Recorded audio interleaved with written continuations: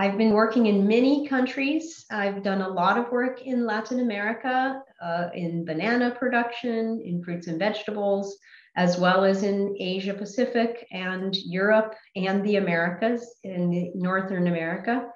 And so um, I'm happy today to have been asked to talk a little bit about what do we think is happening in the future um, with microbial biocontrol. And I had a recent um, opportunity to hear some interesting um, insights into that, which I am looking forward to sharing with this group. So I was asked to talk um, about research trends and what we're seeing happening in the world of microbial biocontrol. And then also to comment on what is Bayer doing in this in this area and what is the, the future look like there as well. So I will not be talking a lot about Bayer specific products. Rather, what does the industry see coming? What do we see in terms of new things that are happening um, in, in this area? A few years ago, I gave a presentation uh, at the Ag Chem Summit, um, which started with this slide, which was a survey of growers asking what is slowing the adoption uptake of the use of biocontrol agents.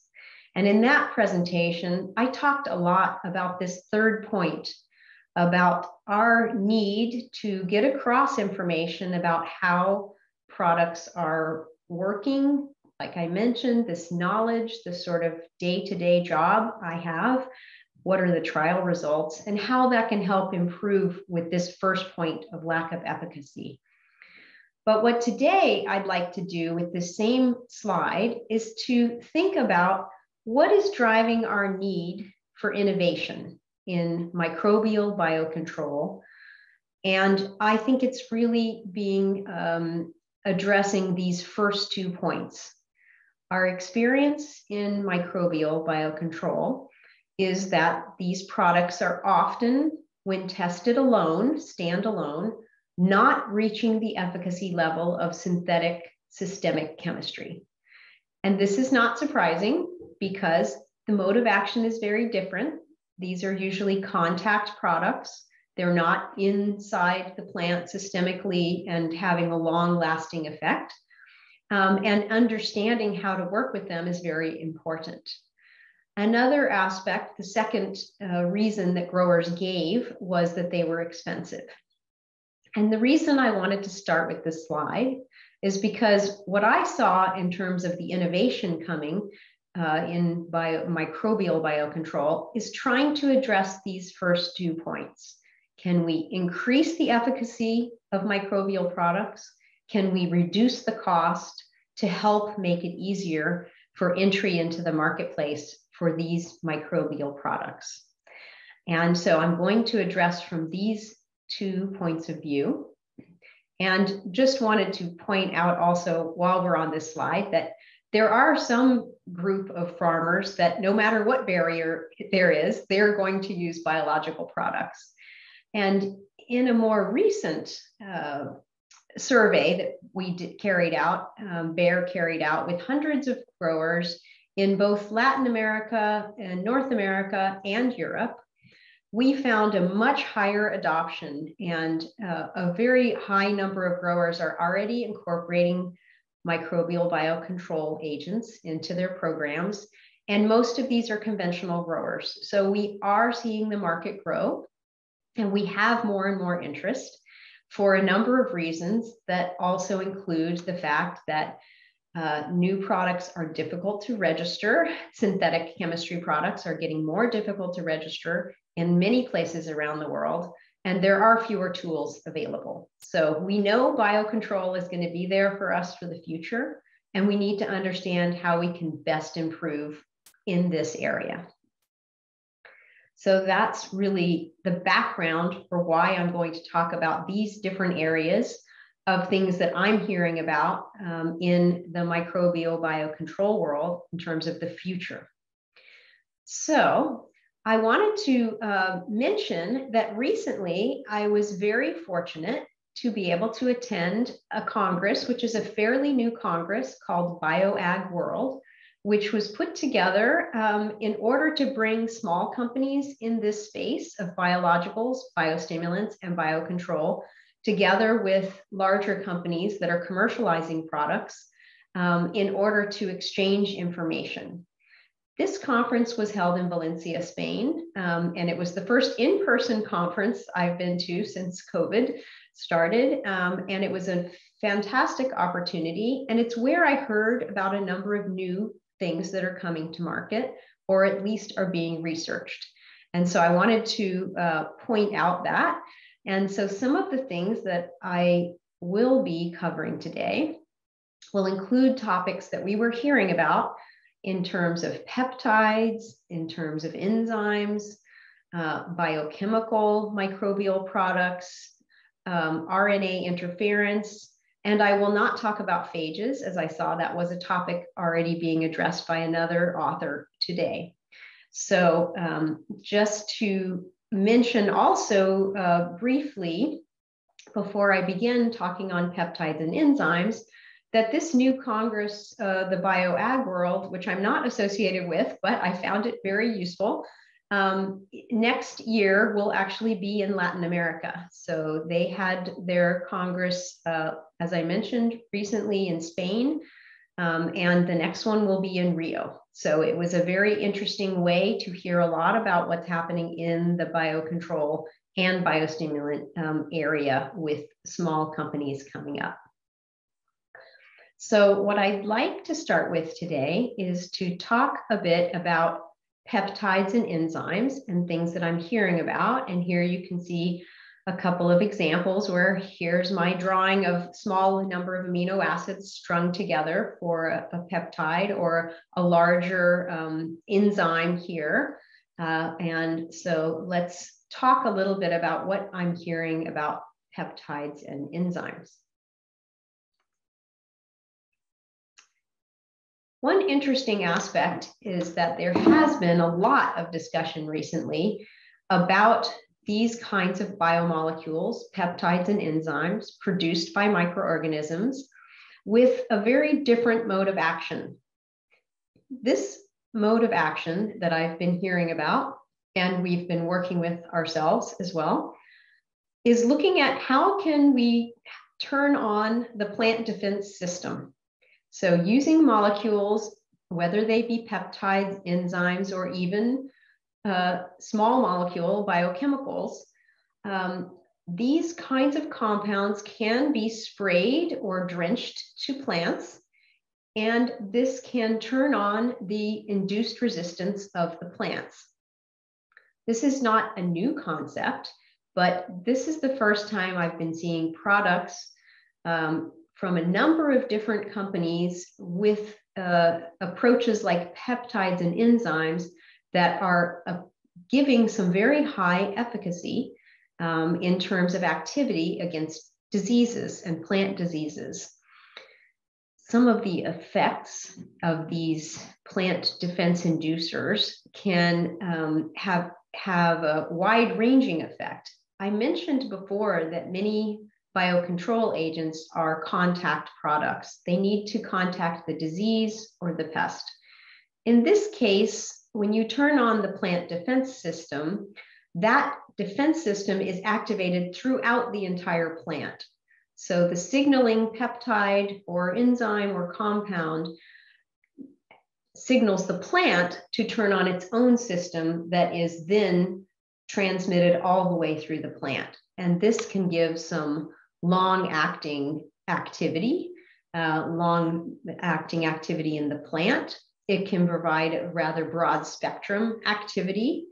Um, and uh, we can also see some specific things happening in the plant, such as increased uh, strength of cell walls and cuticles, um, different kinds of compounds the plant can produce, phytoalexins, to ward off diseases, different kinds of proteins that are produced by the plant.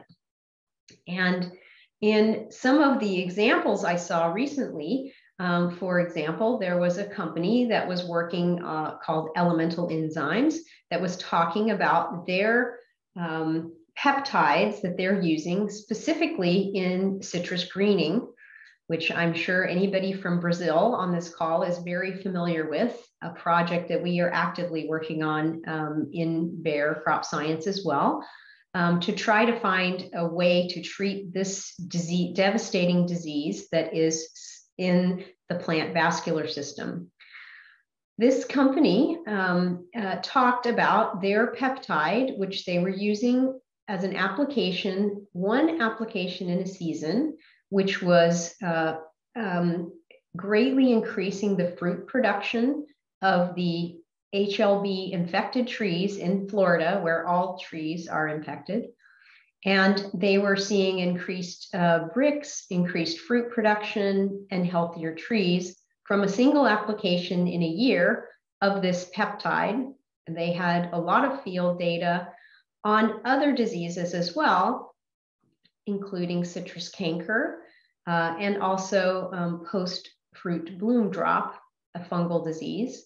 And in those trials, they were showing efficacy as good as the chemical products. So these kinds of peptides and enzymes are um, offering some, appearing to offer some high efficacy in, with this different mode of action.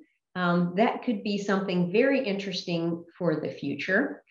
And I think there are some um, and these are also some potential cost effective products as well. One of the other advantages of these peptides is that um, they can be produced by microbes and they also can easily break down into amino acids in the environment. And uh, another example of uh, these peptides and enzymes that are we're seeing in the marketplace are being discussed by a company called Vestaron, for one, uh, where they are taking spider venom, uh, which is an enzyme um, and or uh, protein, and using that in order to kill insects. And so this is giving some high level of efficacy for uh, treatment of um, different kinds of insects. For example, they have a product um, that they have registered with EPA now called Spear T, uh, which is active on uh, soft bodied insects such as aphids, thrips, whiteflies. And they also have um, another product uh, based on this kind of uh, specific protein chemistry, which is active on caterpillars, um, and that is their spear lep product. Uh, these mixtures in nature are very complex, but it's possible for them to look for specific um, enzymes which have activity on the insect pest, but not are, are not active in mammals. And so avoiding this toxicology problem and having a product that is a very specific uh, to the target pest. And these kinds of proteins and peptides that I've been discussing can also be um, produced by microorganisms and they can be registered as biological products. So these are some ways that we can have some different kinds of active ingredients that are microbial that can have an improved efficacy for the target organisms. One of the challenges with peptides and enzymes is that they are broken down easily. That's good for registration and environment, but it's also a challenge for growers who are trying to maintain these products uh, on, the, on the plants or in the field in a way that they can uh, be lasting long enough for the activity. So I want to talk a little bit about some ways that these peptides and enzymes can be stabilized. And this is actually um, something that was uh, developed by microorganisms themselves. I'm using this um, tennis ball here as an illustration because there are certain bacillus species, including uh, Bacillus subtilis, including Bacillus thuringiensis, that have devised a sort of coat around the outside of the spore. So if you think about the tennis ball, it has a kind of fuzzy nap on the outside. And it's this fuzzy nap that these bacillus spores have devised as a way to carry enzymes and proteins. And the purpose of this is stabilization. So they have this uh, called a spore display on the outside of the spore where they can stick enzymes, peptides, proteins onto the spore, stabilizing those enzymes so they don't break down in this way. And there's a very nice review of this spore display technology that was um, recently in the literature. And uh, what you can see here is this bacillus spore with these attached peptides. So it's produced the peptides and attached them to the outside of the spore. And this will stabilize them in the environment so they don't break down uh, until they hit their active uh, target. So it's a very interesting technology. And what's more interesting is if we think about how we can try to change what is on that spore, what is displayed on that spore. So if we think about it, uh, one of the things we know is that organisms readily exchange genetic information. This is why plant breeders can easily cross different plants in the same species and get different kinds of traits. And it even happens between completely different kingdoms in biology. So, my example here is the sweet potato. And if you're familiar with this, sweet potato naturally has DNA from Agrobacterium. That happened over time in nature because Agrobacterium likes to swap information. So when you eat a sweet potato, you are eating a DNA that also contains Agrobacterium DNA absolutely naturally. Organisms swap genetic information. And so that is something we can use in microbial biocontrol product development because in many countries, if you are using the same species, for example, Bacillus subtilis strains, two different strains, they naturally swap genetic information. And you can take these two Bacillus species that I've shown here on the left in my little test tube I've drawn, one species of bacillus is capable of producing this particular peptide. Another species of bacillus has this ability to display proteins and peptides on its spore.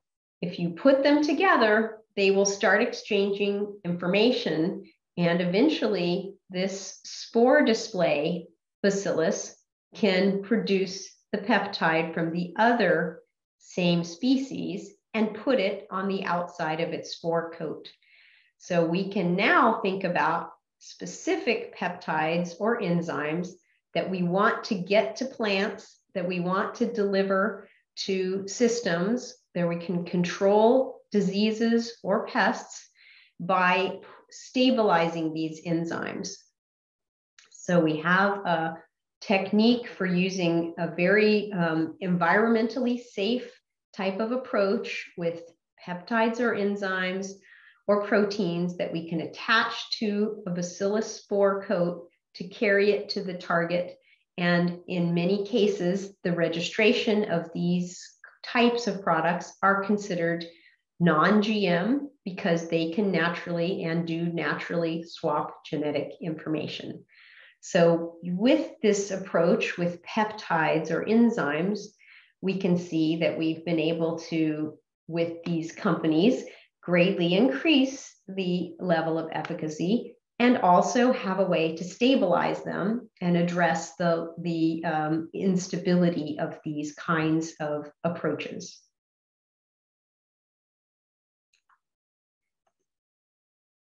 In the next section, um, I will talk a few minutes about a biochemical approach also a regulatory pathway uh, by which we can still have a microbial biocontrol product, but trying to increase the efficacy, um, thinking about the uh, increased active components that microbes are producing.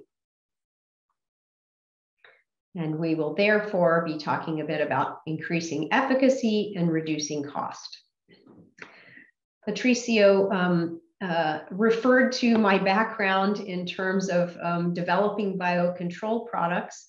My original um, project in the laboratory with AgraQuest as a chemist was to understand all of the compounds produced by the strain 713 that's in the Serenade biofungicide, microbial biofungicide. And I've worked with this product for many decades now. Um, and one thing we know a lot about is how we can produce this.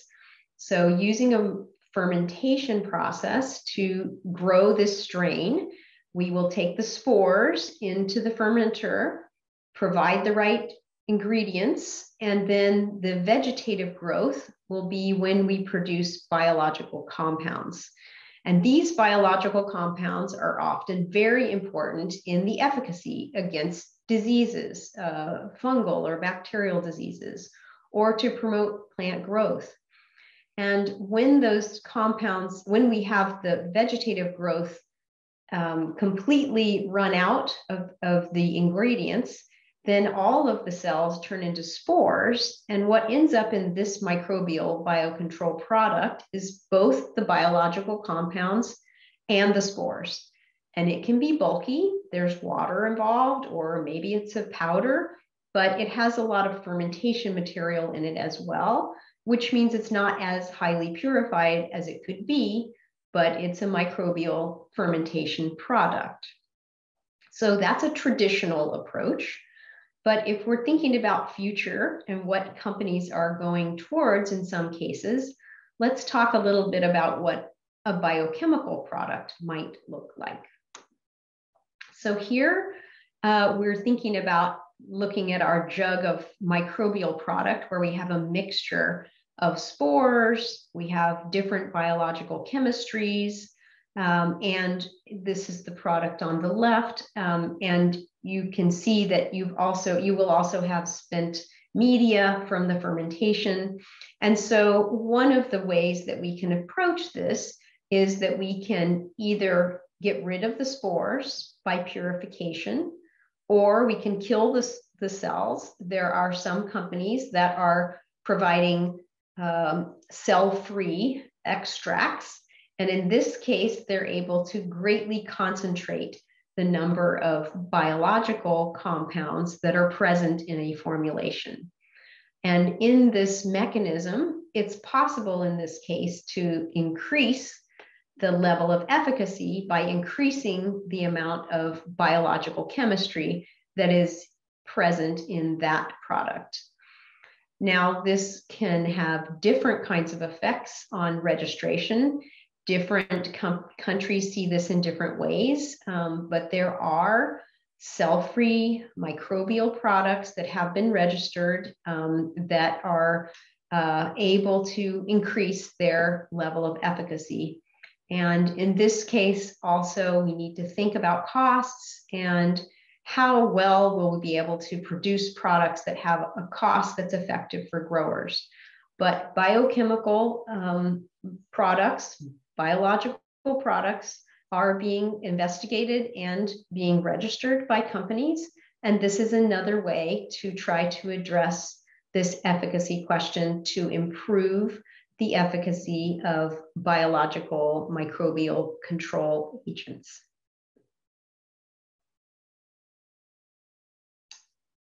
So the next section uh, that I'd like to talk a little bit about will be another technology, uh, which is a microbial produced technology, which is RNA interference. And here on my little slide, you can see some mRNA.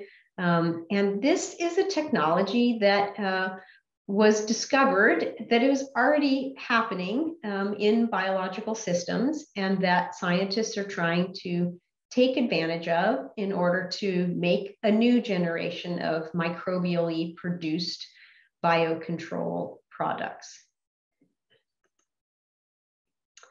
So let's talk about what RNAi technology is. The I stands for interference. And really, this, as I mentioned, was a naturally occurring process in that um, most organisms have single stranded messenger RNA, and that messenger RNA works to translate the DNA uh, from organisms into proteins proteins that are critical for many life functions. And so these single stranded RNAs are going around and making proteins out of the double stranded DNA in organisms. However, viruses have double stranded messenger RNA. And uh, when they infect organisms, because of our own defense systems that have developed, um, whether that's in insects or, or bacteria or, or mammals, we've devised mechanisms to recognize these double stranded mRNA molecules as something foreign and something to destroy. So our own systems have devised these little systems, for example, in this picture uh, on the bottom right with the dicer, when they find double stranded mRNA, they have a mechanism for taking it out and destroying it and, and tearing it into small pieces. So, biological systems are already set up in a way that they can destroy double stranded mRNA. So, the technique here is to identify a sequence in a pest. This is working well in insects so far.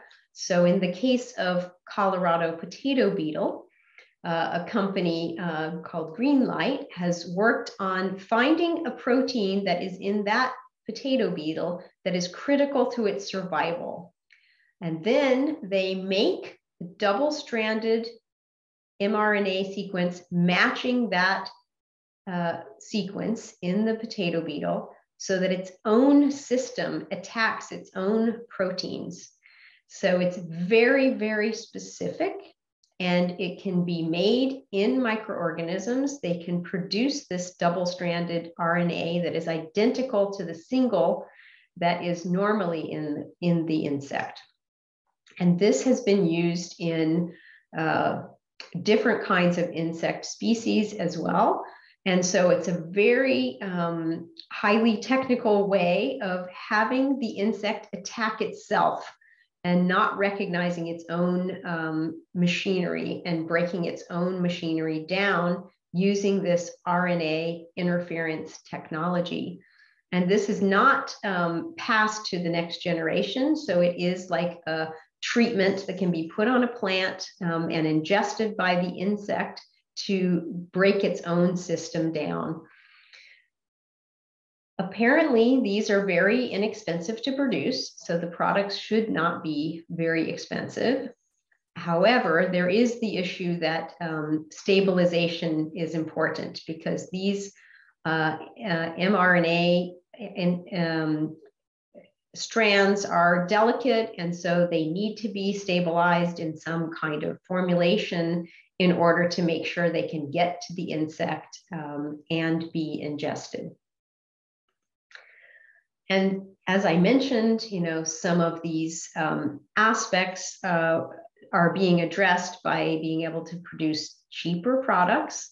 Um, they are easily broken down in the environment um, and companies like Greenlight and RNA uh, Renaissance, it's called, have developed a product for caterpillars as well. We know that um, caterpillar species are really challenging now to find enough chemistry or biological products to have efficacy to control them. So we need to find more products that are active on lepidopteran pests. And this is one um, new technology that could be applied to address some of these different insect uh, targets. So very target specific and can be uh, produced rather inexpensively. So these are many different technologies that we've been hearing about and that companies are working to commercialize and working with partners to commercialize. So the other question that I was asked is, what, what is Bayer Crop Science doing in this area? As Patricio mentioned, um, I uh, joined Bayer Crop Science uh, when they acquired uh, AgraQuest. Uh, that was in 2012. So now 10 years almost um, working within Bayer Crop Science alongside um, the, the development of all kinds of crop protection products, but specifically myself working in the microbial and, and the biological space. So what is Bayer Crop Science doing uh, in the future here? We've had um, a shift recently, and our understanding in the industry is that biological products are going to continue to play an important role, and their role will increase in crop protection. And this is certainly influenced by the number of things happening around the world, including where our headquarters are in Europe, with uh, the EU Green Deal, uh, with the many initiatives that it, are working hard to reduce the traditional synthetic crop protection uh, applications and change our practices um, to include more of these kinds of biological products. We recognize this as an important trend and one of the things we want to do is to be able to offer as many tools as possible to the growers.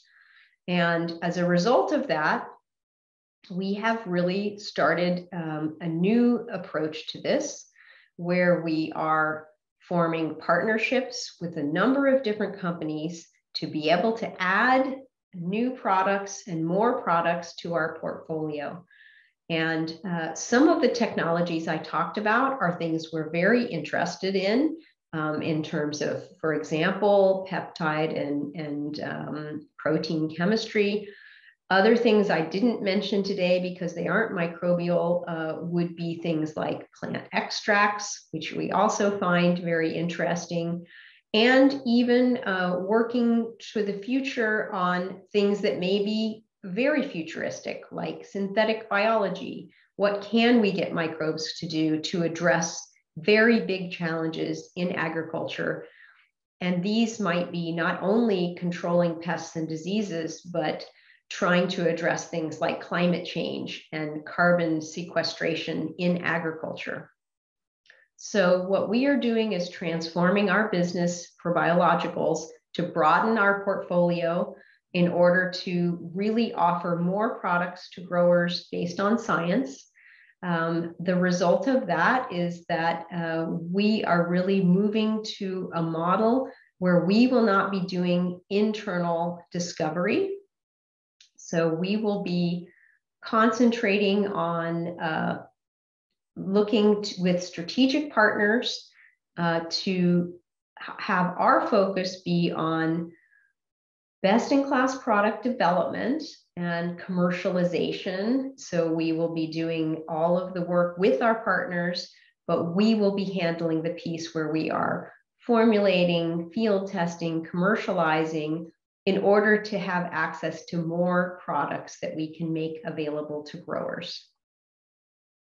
And this, what we call an open innovation model, means we'll be working with a number of different companies in a number of different places in order to add more products to our portfolio uh, and uh, have a, a, model that allows us to access all of these new technologies that I talked about today and have an open mind about where we'll go with products that can be registered as biological control products or biostimulants for helping the growers deal with the challenges they have and managing with sustainable practices. So I hope that that has given uh, an overview um, of what our intentions are, but also what we're seeing happening in the industry um, with biological control and specifically here about microbials.